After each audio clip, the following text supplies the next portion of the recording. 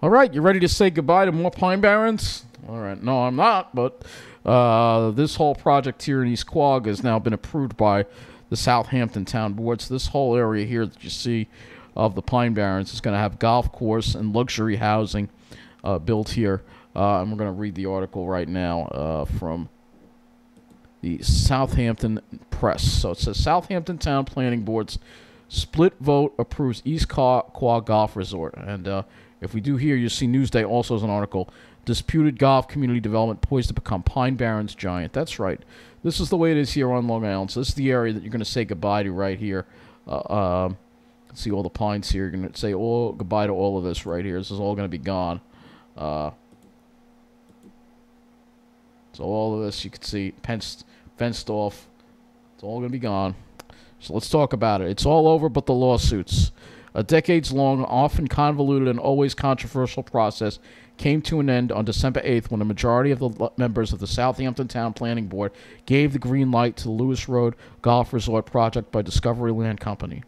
The vote was 4 to 3, with Vice Chairman Dennis Finnerty and members Craig Camala, Catalano, Thomas Neely, and Thakur George Mutu voting in support of the plan to build a seasonal residential resort plus an array of amenities, including an 18 hole golf course on acreage located in the Pine Barrens in East Quogue. Board's chairman Jackie Lofaro, along with members of Glorian Burke and Kate Fulham, cast no votes. Burke and Lofaro vo- both voted against the proposal at the pre application stage. Fulham was appointed to the board later in the process. Discovery Land Company plans to construct 118 units plus 12 workforce housing units, an 18 hole private golf course, and other private recreational facilities on nearly 608 acres of land, 65% of which would be open space in the Central Pine Barrens Overlay District and Aquifer Protection Overlay District. This is a joke, right? Also proposed are a recreational complex, fitness center, community pool, club pool, clubhouse, plus the golf course, all as on site amenities for the exclusive use of the site's residents. The project originally debuted in 2013 as the planned development dubbed The Hills. In 2017, the town board voted against the needed zone change, prompting a $100 million lawsuit from Discovery Land. The plan resurfaced, this time called the Lewis Road Planned Residential Development, putting the planning board in charge of the review. In a split vote in 2019, the planning board approved the preliminary subdivision and site plan applications for Lewis Road on land generally located north and east of Lewis Road in the vicinity of Spinney Road and extending north to and beyond Sunrise Highway in Quogue.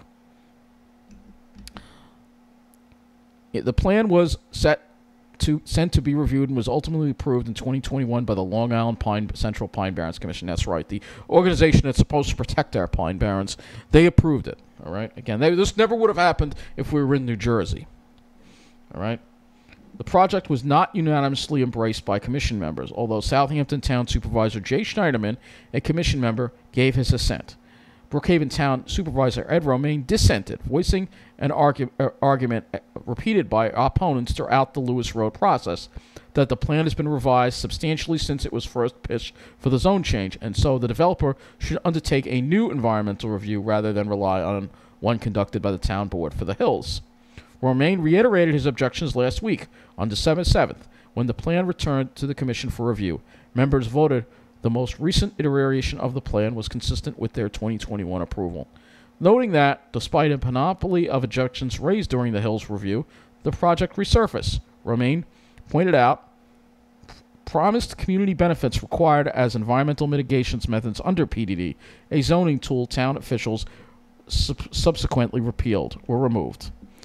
The Lewis Road proposal now calls for commercial complex larger than just the golf course and maintenance buildings allowed by the Zoning Board of Appeals. The Zoning Board of Appeals approvals for accessory buildings are being litigated. The proposed clubhouse contains residential units in violation of the town code, which prohibits housing in accessory structures, Romaine wrote in comments shared with the Express News Group. He added, It seems that the Southampton t- town would like the Pine Barrens Commission to believe that a 100,000 square foot commercial resort complex with commercial dining for 200, a health club, a spa, a 10,000 square foot commercial pro shop, bowling alley is simply a residential subdivision with a few amenities.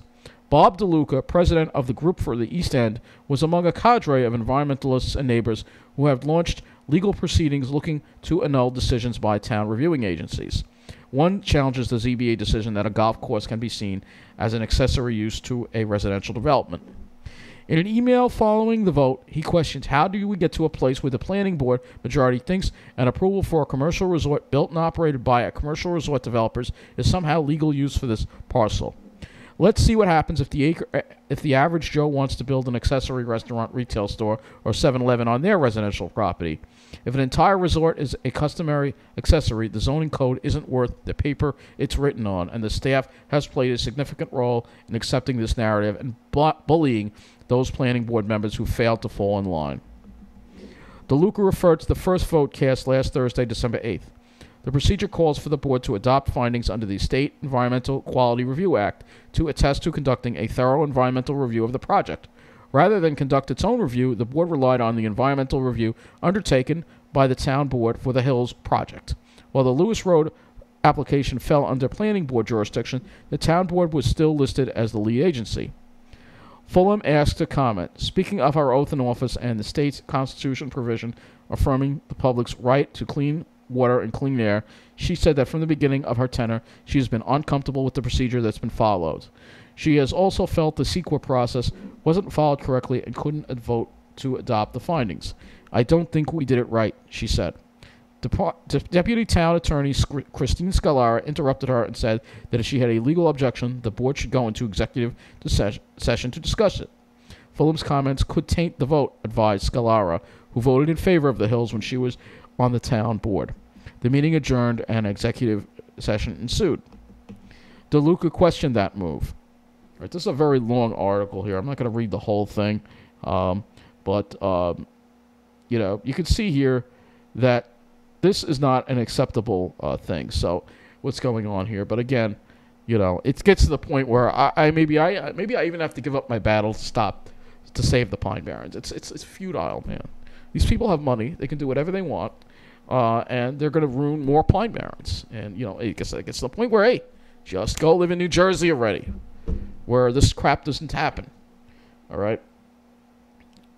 So um, yeah, all this, and apparently north of Sunrise too. So they're gonna knock down some stuff north of Sunrise. They own, own some land north of Sunrise as well. So again, I mean, this is this view here along the highway is gonna be changed forever. You know, it's beautiful view here, pines here, pines there. Um, you know, this is gonna this could all be gone. I, I mean, it's just unbelievable that this is allowed to happen.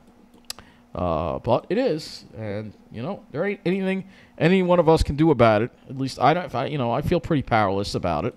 You know, um, and um, it really, you know, it just gets to the point where hey, you know, um, Long Island doesn't care about protecting its pine barrens. It's pretty obvious.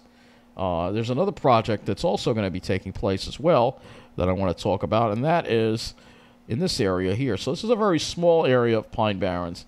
Was part of it was a former sand mine. Well, you can say goodbye to this too, uh, because they're going to be building a housing project. Will be affordable housing, but you can see here that this is also going to be knocked down as well, and I'll I'll link some articles to that as well.